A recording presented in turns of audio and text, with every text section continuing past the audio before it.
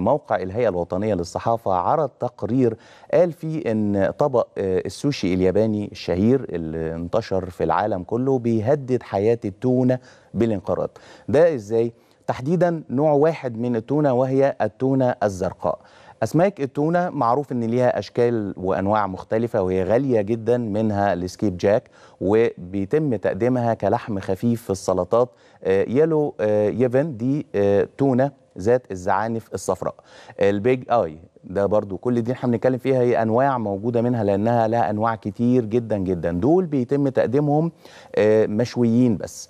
albacore هي أسماك صغيرة في الحجم بتستخدم يعني كلحم تونة أبيض. أخيرا بقى ودي بطل كلامنا النهاردة هي التونة الزرقاء يعني اللي بتتسم بضخامتها وطيب اللحم بتاعها. ده بيجعل منها الخيار المفضل لتحضير طبق السوشي وكمان الساشيمي.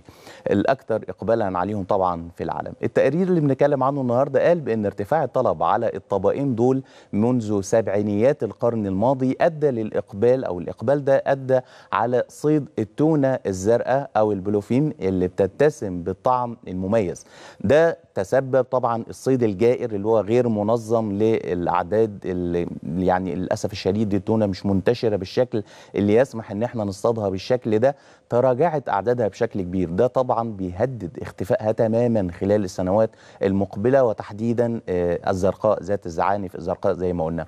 دكتورة رجاء عبد الله وكيل كلية تكنولوجيا المصايد والأسماك في جامعة أسوان قالت إن السمكة بيميزها وجود زعانف زرقاء على جسمها.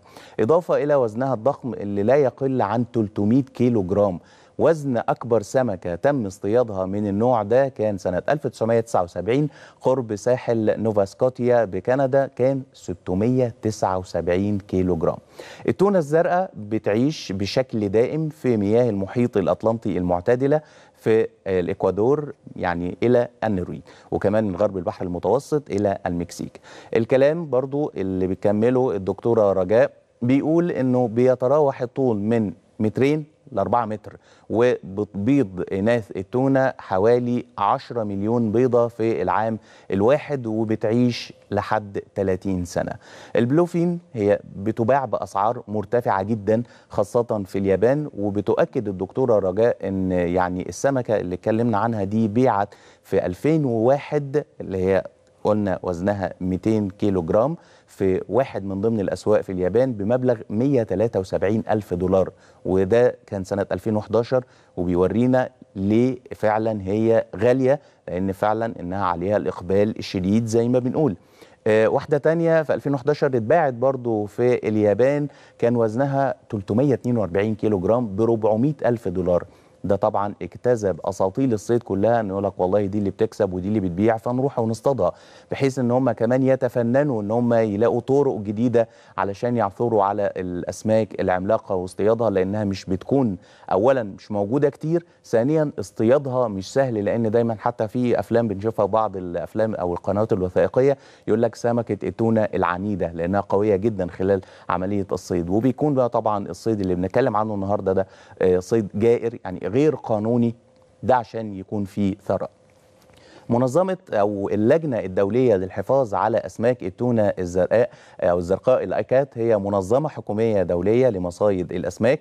تأسست سنة 1966 وطبعا هي بتضع التدابير التنظيمية للدول الأعضاء لصيد التونة وبتقوم بعملية دراسة للمخزونات السمكية للأنواع اللي بنتكلم عنها وبتوزع حصص معينة على أعضائها من الدول. هو الدول المشتركة فيها 53 دولة من خلال طبعا الاجتماع السنوي اللي بيعقد بتقوم بعملية توزيع الحصص. هو بيعقد في نوفمبر من كل عام بحيث إن يكون في حصة لكل دولة علشان نحافظ على هذا النوع من التونة بشكل عام والنوع تحديدا اللي بيكون معرض للانقراض إنجاز التعبير.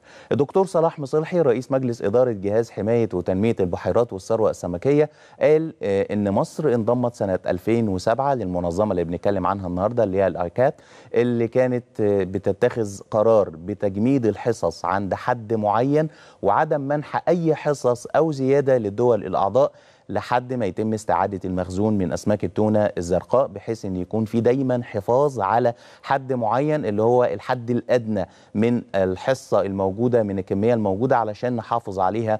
زي ما بيقولوا كده إن مع المواسم يبدأ تاني. إحنا كنا لسه بنتكلم في عدد البيض اللي بتبيضه آه، أنثى آه، التونة الزرقاء. فنحافظ على وجودها باستمرار. وتبقى موجودة في وضعها الطبيعي بحيث إن ما يكونش في تعرض للتهديد بالانقراض. زي ما قلنا قبل ما يتم التجميد في 2009 مصر بعد كده آه، أقرت حصة من التونة الزرقاء حجمها 50 طن رفعتها ل 330 طن سنة 2020 بعد كده 513 طن سنويا خلال العام الجاري 2024 لأن مصر ملتزمة بتقديم التقارير المطلوبة في مواعيدها. وامتثالها لقرارات المنظمة الملزمة بمسألة الحصة والتزام كل دولة من الدول المشاركة والملتزمة بالحصة بتاعتها علشان نحافظ على أسماك التونة. وناخد بالنا جدا في مسألة أنواع التونة لأن التونة آه، علشان تكون آه، زي ما بيقولوا تونة صحية مضمونة الأسعار بتاعتها بتكون مش يعني رخيصة. للأسف الشديد بعض الأسواق بنشوف فيها تونة بتكون رخيصة فده ناخد بالنا منه مهم جدا جدا جدا. ونحاول نطلع على تصنيع التونة ونشوف الطريقة السليمة في تصنيع التونة علشان نقدر نضمن إن إحنا بنتناول تونة جميلة لذيذة ولكن في نفس الوقت صحية. ألف أنا وشفا لكل يعني محبي التونة. وعاوزين بقى إن إحنا نحافظ على التونة. ده كلام بقى بالنسبة للدول والصيد الجائري حافظوا على التونة خاصة التونة اللي إحنا بنتكلم عنها والأرقام الضخمة والوزن الهائل اللي تابعناه في التقرير اللي قلناه لحضراتكم.